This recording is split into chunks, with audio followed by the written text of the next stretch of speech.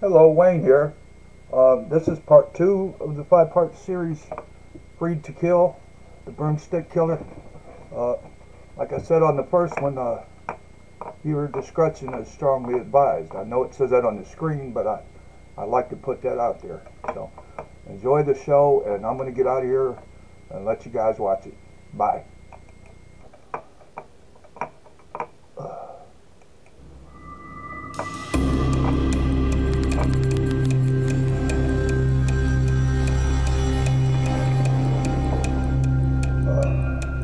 McDuff had been convicted of the broomstick murders.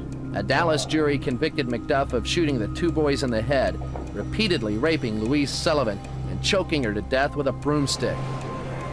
And he is sentenced to die in the Texas electric chair, which in those days was known as Old Sparky.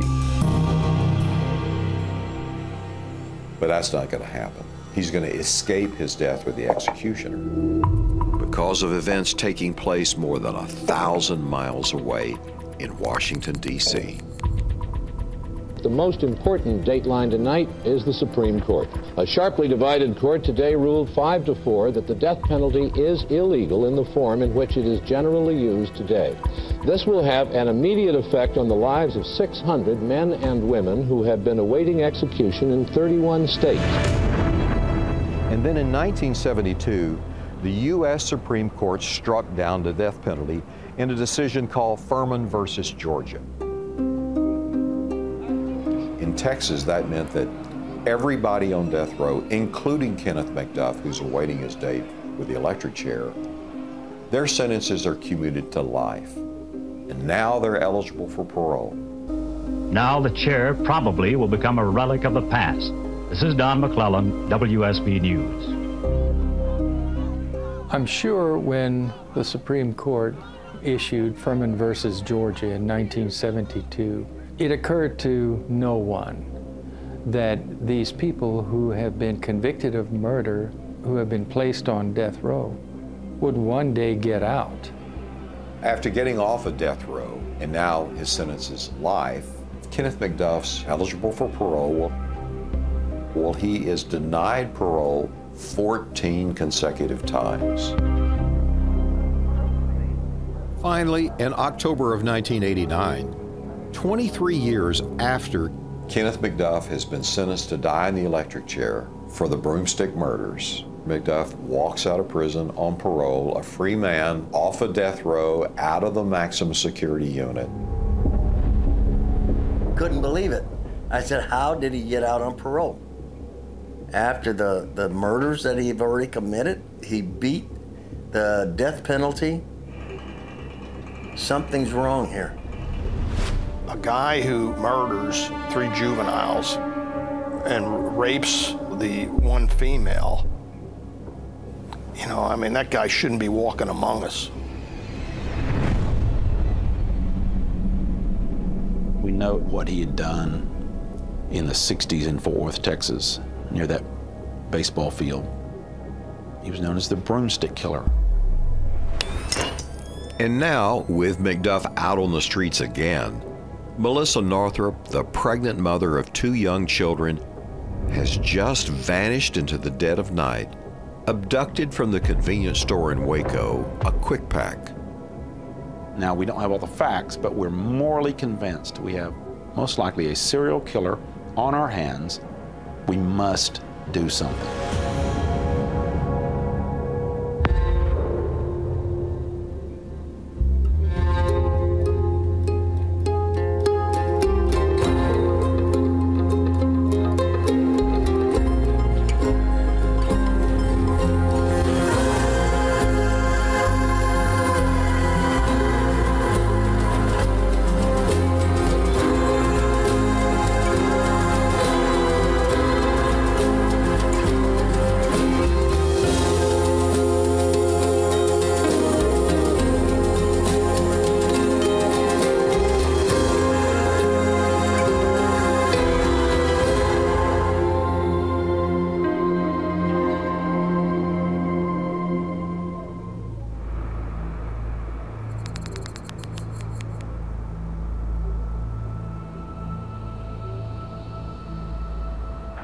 In March 1992, Kenneth McDuff is out of prison, his whereabouts unknown, and a posse of three lawmen, prosecutor Bill Johnston and U.S. Marshals Mike and Parnell McNamara, fear McDuff may have killed again.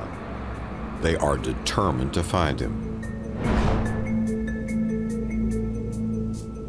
The boys from Waco, as I call them, are three guys who probably should have been born a hundred years ago. They have that moral compass of uncompromising views of what is right and what is wrong. They hear Kenneth McDuff is on the loose, and we have a convenience store clerk who's missing. His car was found near the scene of the crime. Other people may or may not have been dragging their feet. Those three boys went out there and they hit the road. When we got that warrant, we formed up a plan to try to find everyone that ran around with McDuff, his friends, his associates, his criminal associates, and so forth. And that wasn't going to happen from 9 to 5. Those people didn't wake up till 5. You had to be willing to wait till midnight or so to see them stirring around and find them. You're not at the Ritz-Carlton. You're probably at the worst hotels, the worst bars, the worst hangouts, the back alleys, where the prostitutes are active, where the drug dealers are peddling. Federal Prosecutor Bill Johnston and the McNamaras literally are trolling through the trash of Central Texas, the worst of the worst of ex-cons. They're rousting and beating up crack dealers. They've got prostitutes. I mean, it really is a slimy world. And that's where McDuff lived and ran. And those were his friends from prison.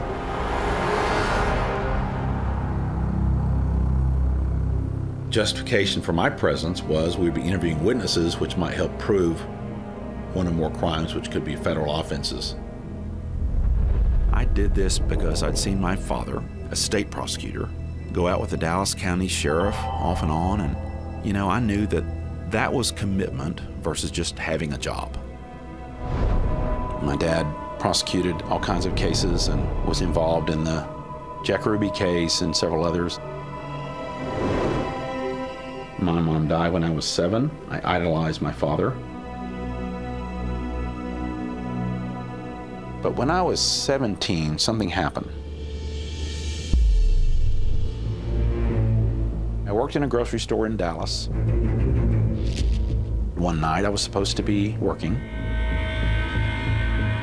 My store was robbed at gunpoint by a meth freak who killed one of our employees, who shot who I would have been. It frightened me. But somewhere in my frightened little person began to burn a desire to stop people from being violent to each other. And what McDuff did to those kids in Fort Worth, go get McDuff. The chance to try to catch a serial killer? Oh my gosh. Who would not, as a law enforcement person or a prosecutor, want the chance to keep someone from killing someone else? Prosecutor Bill Johnston and U.S. Marshals Parnell and Mike McNamara aren't the only people looking for serial killer Kenneth Allen McDuff. On March 3rd, just days after Melissa Northrup has disappeared, Kenneth McDuff's mother, Addie McDuff, known as the Pistol Packin' Mama, files a missing persons report with the Bell County Sheriff's Office, which is located just south of Waco. This report lands on the desk of criminal investigator Tim Steglich.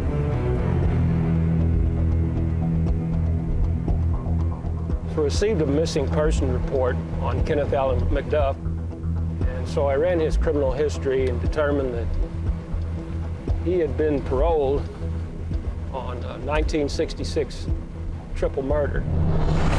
It's not uncommon for people that are on parole to take off have someone report them as a missing person. This is an old scam. If you're going to run, if you're going to break parole and bust out, you'll always have a family member call in and say you've disappeared. And you just hope the police will believe that you're dead.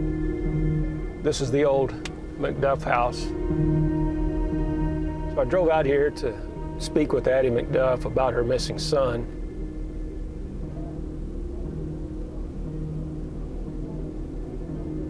I started asking Miss McDuff some questions. Mr. McDuff was seated in the living room. She kept alluding to the fact that she was afraid he was dead. I just thought that was not an appropriate response within a couple of days of somebody going missing. Almost like she had been coached into saying something like that. Addie McDuff was doing 90% of the talking. I had to direct everything toward her because if Mr. McDuff started talking, she usually cut him off. She was just loud and obnoxious. When you go to the, the FBI's profiling school, one of the things they tell you about is that a lot of these sexually sadistic serial killers, their mother is incredibly overbearing. She's the poster mom for serial killer's mom. I asked her to show me around the house to see if I could find anything that might indicate what happened to her son. I'm directed to Kenneth McDuff's room. I find cowboy boots, evidence that he was attending Texas State Technical in Waco, probably doing a lot of metalworking that he had learned in prison.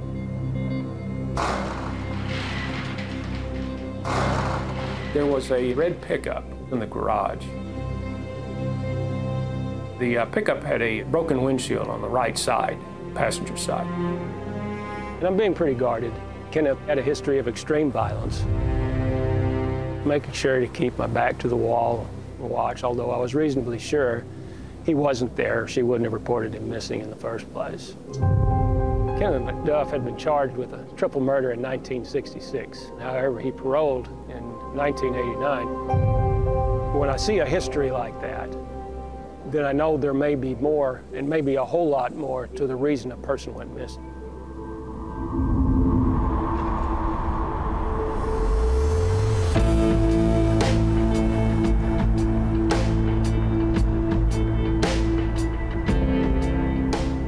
I arrived here at the Texas State Capitol in 1990, Texas was literally awash in blood.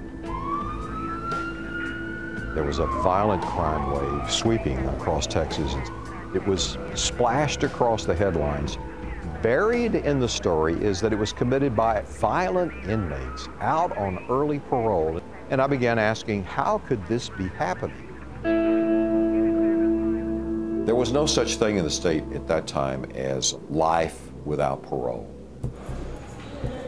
Moreover, because of prison overcrowding, there's a perfect storm going on here. I wouldn't cage a dog up like they got us caged up right now. Texas needed to build more prisons. Not just a little bit more, a lot more. For years, the state defied federal orders to expand the prison system. They didn't want to raise taxes. At the same time, those same members of the legislature are talking tough on crime. So they're instituting longer sentences, but there's no place to keep these people for a long time. I needed to start digging, digging for answers. I arrived at the state capitol to cover the legislature, and it was in session to cover state government. In the background, I'm starting to dig about what's going on there. They're in this sea of crime, violent crime taking place, and I don't think they pause to say what, what's behind this. Nobody seemed to be paying attention except Senator Ted Lyon. He was the chairman of the Criminal Justice Committee. One day, I'm summoned urgently to his office. He's shaking in anger. He has a list of more than 60 former death row inmates who've been released on parole, McDuff among them. But at the top of the list of his concerns is an inmate named Leonardo Lopez. Lopez and his accomplice had taken five deputies in Dallas hostage and killed three of them. Lyon was especially angry about it because before he went to law school and was elected to the Texas legislature, he'd been a patrol officer in a suburb of Dallas and he had served warrants with one of the slain deputies. So this was personal. Fast forward, and I'm the chairman of the Senate Criminal Justice Committee, and I find out that they had just paroled Leonardo Lopez, who had been convicted of killing three officers, not just killing them in a gunfight, executing them, having them on their knees and shooting them. Couldn't believe it. I was so upset. I needed somebody that was an ally in the press to go and champion this. And he says to me, you know, here's the list, you have to do this story. The parole of police killer Leonardo Lopez outraged the Senate Criminal Justice Committee. Texas Senator Ted Lyon, who I do a story, and the story sends a shockwave through the state. Overnight, every sheriff in the state of Texas is calling the governor. The outrage that hit in the wake of it, Senator Lyon called hearings. And he called to the Capitol the parole board members who had voted to release Leonardo Lopez, the cop killer, to demand an explanation. It was right here on the Senate floor. I couldn't believe what I was hearing these former, quote, conservative folks saying. We are raking the bottom of the barrel, Senator. We must let these people go every day. We must let these people go. We have no choice, Senator. It was a fiery hearing. Senator Lyon at times was yelling at them. And how many people would he have to kill before you wouldn't let him out? Crude as it might be, Senator, you know we cannot keep everyone. If we see 10 people, we're letting eight of them go, Senator. What came out in the hearing, though, that just rocked the world was that under fire from Lyon, one of the parole board members suddenly tells the truth. They have been releasing 150 inmates a day, 750 a week. In the beginning, they were putting the hot check riders out, drug offenses, car thieves, but now they were scraping the bottom of the barrel and on that bottom of the barrel was Kenneth Allen McDuff.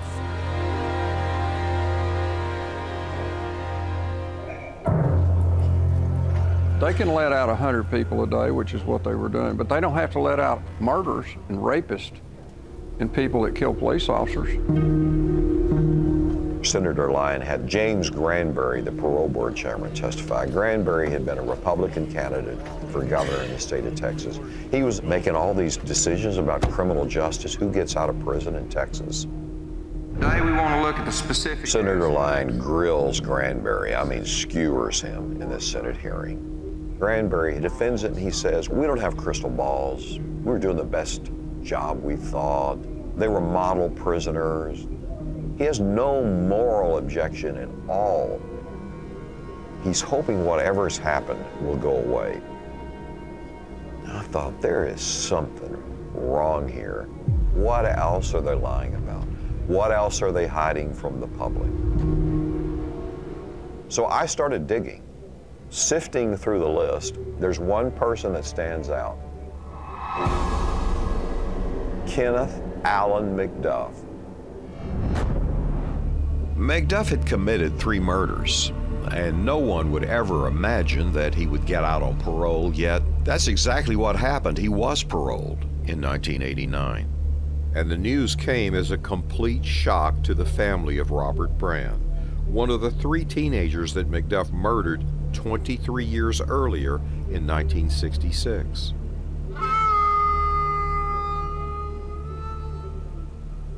When he got out, was paroled, Mother called me and she said, Your dad, he's got his gun, he's on the way to Rosebud. He was going to try and find him and end it.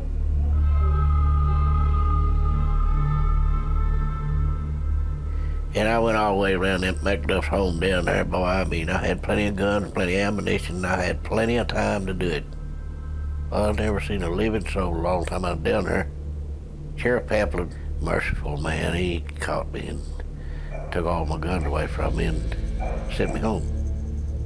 We didn't know he got out, but until he came to Rosebud.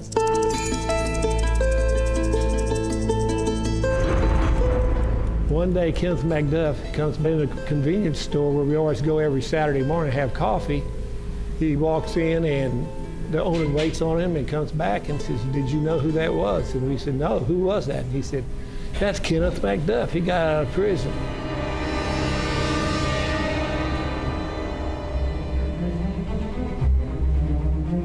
My daughter was out running, practicing for track meet. My wife ran out immediately and hollered at her and told her, get in the house, McDuff is a loose, McDuff is a loose.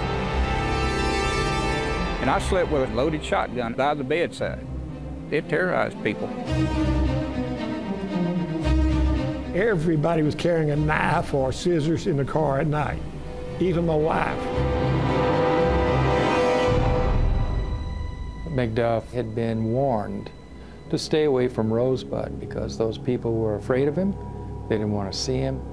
They didn't want him around. And yet he decided to go there. He's sitting on a sidewalk and a few young black males are walking, minding their own business. He Got up and started talking, talking trash to him. He said, you little black SOBs, you, uh, y'all think you own the world. Well, you don't. He said, and I'm here to tell you you don't. Well, he pulls out a knife, and he's following these kids, acting like he's gonna hurt them. He pissed me off. Uh, those kids weren't bothering nobody. And I told him, you know, we didn't do that around here, and we didn't tolerate it. And I told him he put his knife in his pocket and leave.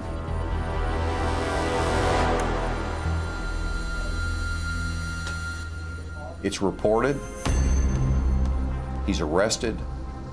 His parole is revoked. He is sent back to the penitentiary. In 1990, the panel votes to parole McDuff again. The fact that they let him out not once but twice, there is no excuse for that. I mean, in Rosebud, people all were talking about that maybe Miss McDuff paid somebody off. She had the money and she paid somebody off. Your faith in the system is shaken. On December 18, 1990, Kenneth McDuff is once more put on the street, free to kill. When McDuff got out of prison on parole, he, like many, many other of these ex-cons, they're playing the game. They're really trying to con their parole officers. They're trying to show that they're doing the right things and what they should be doing. So McDuff enrolled in a trade school. McDuff saw it as an opportunity to get a place to live, a place to go, an allowance, and access to young people that he can easily intimidate. McDuff had spent most of his life behind bars in prison in Texas, so that when he came out in his early 40s, he had the emotional maturity of when he had gone into the prison. It's arrested adolescence. It is incredible to believe this, but he actually made the dean's list on one of the semesters he attended. And his mama was very, very proud, and she talked about how he was devoted to becoming the mechanic he was supposed to be studying for. Then during that time period in May of 1991, he got a night job, the graveyard shift, at a convenience store called the Quick Pack. He's working beside a man who is married to Melissa Northrup, another convenience store clerk, who will disappear from her shift almost a year later. And she was really nice to him. I mean, she would even pack an extra sandwich. She would give him snacks or a sandwich or something like that. He brags about everything. He could rob any kind of convenience store he wanted to because he worked at one. He understood that there was no security at these places to speak of. There was one young lady in one of those quick packs, Melissa Northrup, a real good looking young woman. He bragged that he could just take her anytime he wanted to. He was a natural predator. That, that was his way. He, he was on the hunt all the time. McDuff spends his evenings cruising the Interstate 35 corridor, looking for drug dealers to rob. He's always bragging about he's going to take down crack dealers, steal their drugs and money. He's also cruising a place in Waco called The Cut. It's just right off Interstate 35. It was an open air drug market and open air sex market 24 7. And he came here looking for prostitutes that he could easily pick up. They were transient, nobody would miss them. They would get in a pickup truck with McDuff, and it was the last ride they would ever take.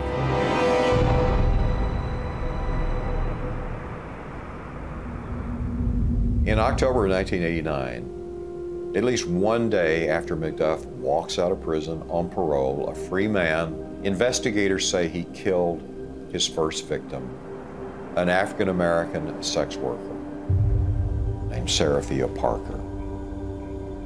From then on, up and down Interstate 35, bodies are going to start showing up.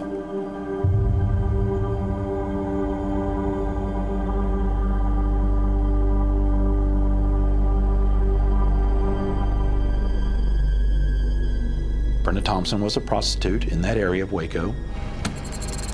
Brenda got in with McDuff. However, something happened pretty quickly. Brenda, through intuition, knew something and she wanted out. He was huge and his hands were massive. He could probably kill someone in five seconds. Brenda wanted out of that truck. Brenda Thompson had told her fellow sex workers that if she thought she was ever going to be attacked, she would fight like hell, try to kick the windshield out. She told everybody that. He was in complete control, and she could do nothing about it. All she could do was kick at the windshield. McDuff came upon a Waco police barricade. They saw Brenda Thompson kicking the windshield of the truck. McDuff continued on, went the wrong way down a one-way street. Turns his lights out with Brenda Thompson still screaming. She didn't want to be there. She couldn't get out, and she didn't. She didn't get out. She never got out. It's been disputed how persistent the police were in chasing him or if they just wrote it off. It's another sex worker in a dispute with a John.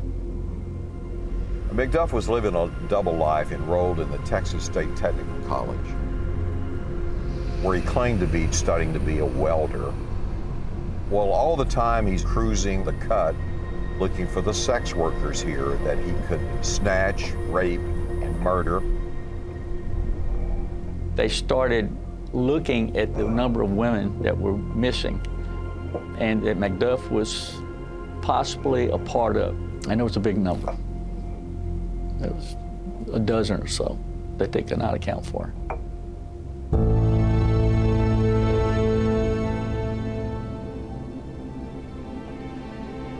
I was on the trail of trying to uncover how all of these violent inmates plus death row inmates were getting paroled. Then I got a tip from law enforcement sources that the U.S. Marshals in Waco were searching for triple killer Kenneth McDuff. They think that he is the prime suspect in the abduction of Melissa Northrup, who disappeared in the middle of the night from a Waco convenience store. Waco police suspect that McDuff killed a. So I break a story, and boy, does that shake things loose. His old cellmate says McDuff randomly abducts any female that appears vulnerable. Vince, uh, Waco police suspect that McDuff My story airs on the 10 o'clock news. The next morning, my phone rings. It's Barbara Carpenter. She tells me, I saw the man who murdered my daughter in your newscast last night. She goes on to explain that her daughter, Regina Moore, a sex worker, was last seen alive with Kenneth McDuff in his pickup, and that she had gone to the Waco Police Department. No one really would pay attention to her. I immediately got my crew and we highballed it to Waco. Barbara was a truck stop waitress. We talked to her there. She tells me that months earlier, she and her husband went out to the Texas State Technical College, where McDuff was supposed to be attending trade school, and confronted. And she said that when she and her husband arrived, there was his red pickup truck with the windshield kicked out. This is the same truck where Brenda Thompson was last seen kicking and frantically fighting for her life. And there it sits. Her husband met us, and we went to the dormitory, to his room, and heard the full account of what she had seen back then.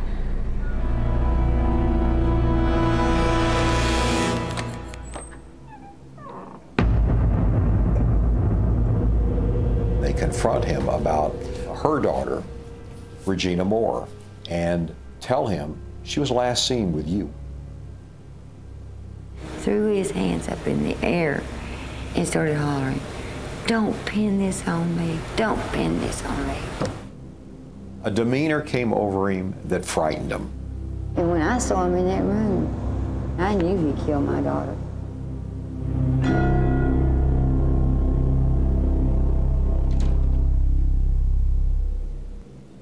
I talked to students that knew him.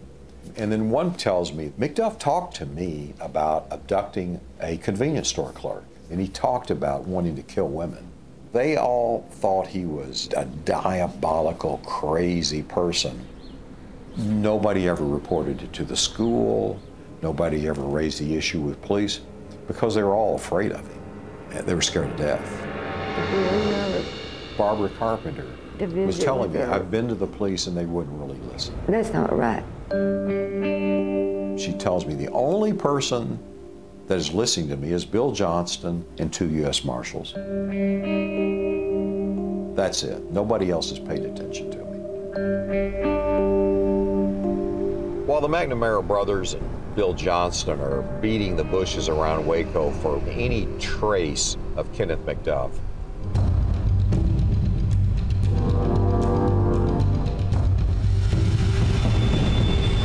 100 miles south down Interstate 35 in the Texas state capital of Austin.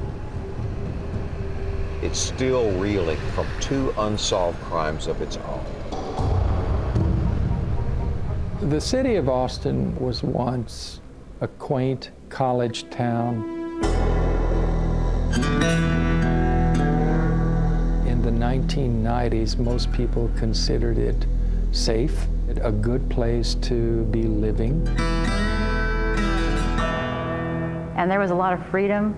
There was a sense of fun. There was a sense of safety. You didn't feel threatened. And very suddenly the headlines changed. It's considered one of the most violent crimes Austin has ever seen. Four teenage girls shot, then left to burn in a deliberate fire. There's a fire at a yogurt shop late at night in an affluent strip mall in northern Austin. The firefighters discover the bodies of four young ladies. It was stunning. The yogurt shop murder happened where families shopped not too far from the news station where I work, and it was a crime scene where four teenagers had been murdered, and it was a difficult, difficult thing to cover. There was fear because the perpetrators were so violent. Their victims were children, and for that to happen in Austin was unbelievable. Everybody has children, you know, teenage kids, so that hit home with a lot of people.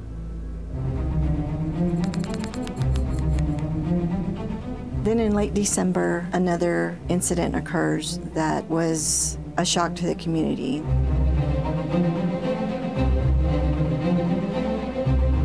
My brother and I were driving my car. He was in the driver's seat, I was in the passenger seat. We wanted to take a left turn onto Powell, a one-way street heading uh, towards 5th Street. As we were about to make that turn, we realized the car was coming the wrong way on Powell, trying to get from 5th Street to 6th Street. As we approached and stopped at that intersection, waiting for that car to clear, that car stopped at that same intersection. The passenger and the driver leaned forward into the windshield of the car, looking left and right to try to figure out what to do next. And that lasted several seconds. They obviously were lost. So they finally decided to take a left on 6th Street in front of us.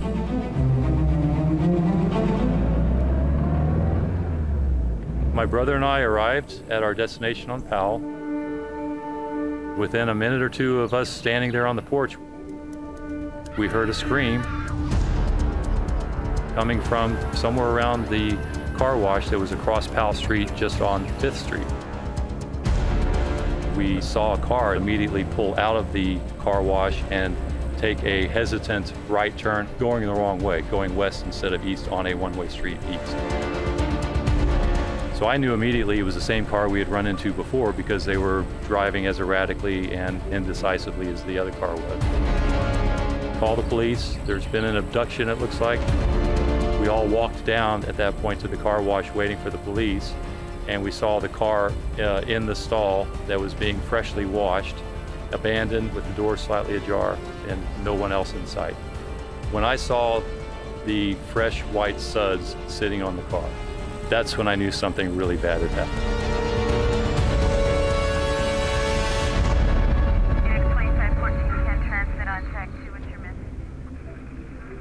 And when they investigated it, the woman's purse was in the car. We didn't know where she was.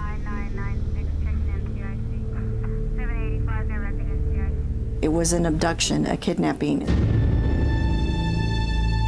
The victim was identified as 28 year old Colleen Reed.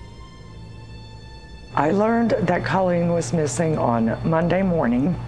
I was working for the city of Austin at the time. Oliver, her boyfriend, fiance, called the office and he asked me, Do you know where Colleen is? And I, I laughed and said, It's Monday morning. She's at work. He was the one who told me that something had happened and Colleen was missing. It was just so chilling because the things were so ordinary. The activity, what she was doing, everything about it was so ordinary. It could have been anyone that you know and love. When that information was released to the public that next day, it was another layer of panic for the, the citizens. What's going on in this city? All of a sudden, crime is going crazy, and we don't know who's doing it, why they're doing it.